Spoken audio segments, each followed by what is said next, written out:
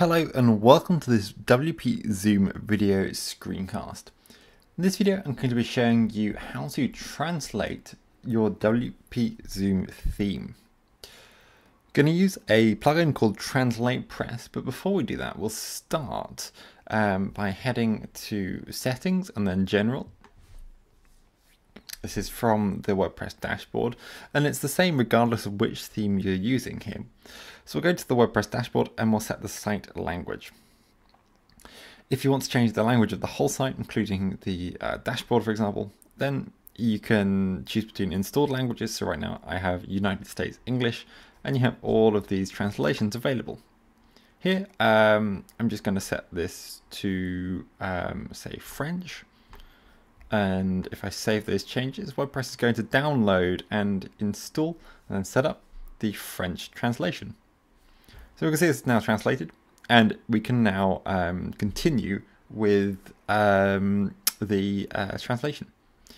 So we'll go to plugins and then add new. And here we're going to um, search for Translate Press. This is the free plugin, um, which is going to allow you to um, easily translate your entire site um, from the WordPress customizer. So we're going to press install and then activate once that has downloaded. Just wait a second for that to set up on the site. I'll turn blue in a second and we can now activate this.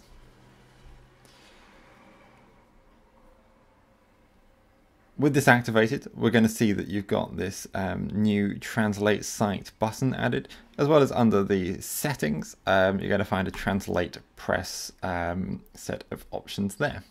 So this is where um, you can set all the options relating to the plugin. The most important one is going to be um, setting the default language. So this is the language your website is written in.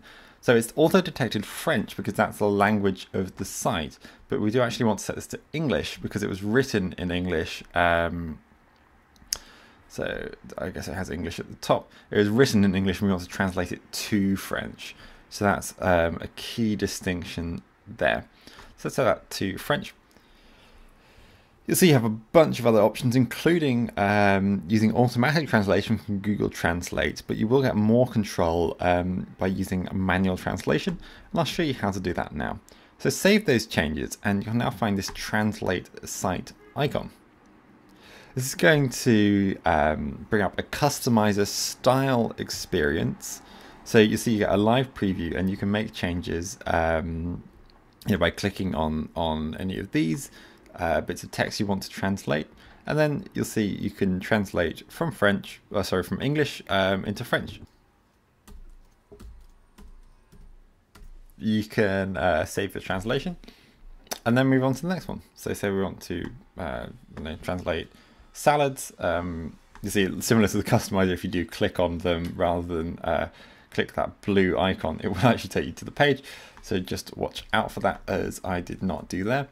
Um, so you can translate this. So we'll say from English into French, and we can save those translations. Now, to do the whole site, it's just a case of um, repeating this process. So you can see all of these are translatable, and you've got this lovely, um, what you see is what you get, um, editor and preview.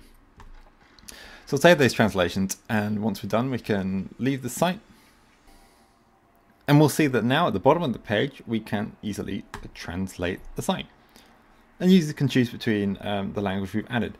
The free version of Translate Press uh, lets you select one language, um, and with the pro version, you're able to set multiple languages. So you can see that done there. If we head back to the settings then, um, you can change any of those languages. So um, you'll see you've got a load of options like um, change whether the uh, switcher at the bottom uses the native language name, um, whether it's in English. Um, you've got a bunch of options there, and you can also customize how that language switcher is going to display. So save all your changes once you're done. And um, that's your look at Translate Press.